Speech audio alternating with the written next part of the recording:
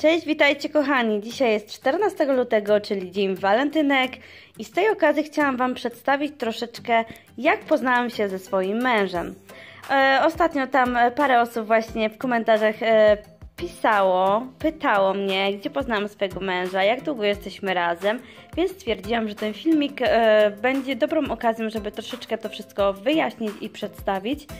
Ten film będzie ogólnie zawierał same zdjęcia z naszych lat, może nie wszystkie, ale takie e, co niektóre, które udało mi się jeszcze e, znaleźć.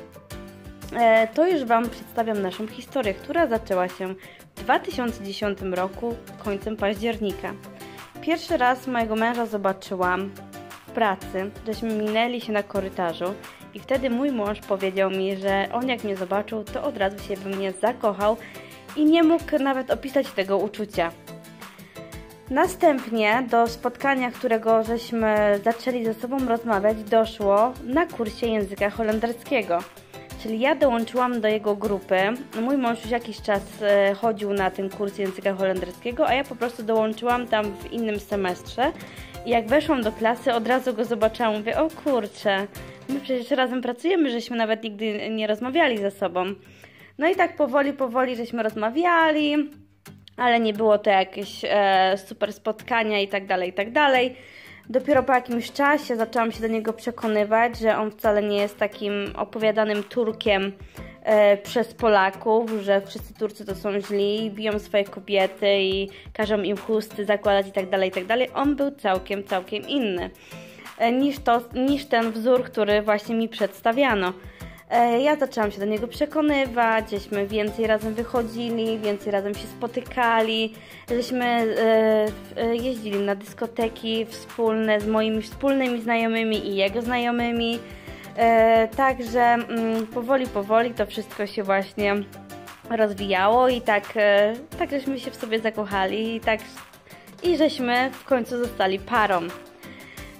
Później po niedługim czasie w sumie pojawił się Yasin, E, później pojawił się Enis i teraz już e, pojawi się za niedługo trzecie dziecko, czyli dorobiliśmy się trójki dzieci. Jesteśmy małżeństwem od 2013 roku, a w meczecie jesteśmy zalegalizowanym małżeństwem od 2012 bodajże, albo 2011 roku.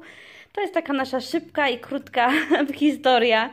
E, jak tej historii nie da się przedstawić e, w filmiku trwającym 3, 4, 5 minut. To jest historia do opowiedzenia na parę godzin, ale jeśli macie jakieś pytania, e, oczywiście odnośnie naszego związku, jak to wszystko jeszcze wyglądało, oczywiście zadawajcie pytania w komentarzu pod tym filmikiem.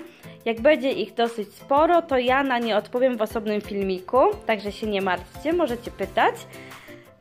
Ja Wam oczywiście życzę e, szczęśliwych walentynek ze swoją miłością, ze swoim przyjacielem. E, kochajcie się, nie marnujcie czasu na zbędne rzeczy. To jest dzień dla zakochanych. My osobiście z mężem e, nie dajemy sobie żadnych prezentów już od dłuższego czasu. Na początku naszego związku jeszcze żeśmy sobie tam dawali na każdą okazję prezenty, ale już od paru lat nie. Chociaż mój mąż zawsze przynosi mi do domu kwiaty, e, plus jakieś czekoladki, ale ogólnie nie dajemy sobie prezentów. E, powiem Wam, że im dłużej jesteśmy razem, to może być śmieszne, ale tym bardziej, tym bardziej więcej się kochamy. E, także ufajcie swoim partnerom, szanujcie się. Ja Wam życzę dużo zdrówka, dużo miłości, i spędźcie te walentynki jak najlepiej ze swoją ukochaną osobą. Do zobaczenia, pa!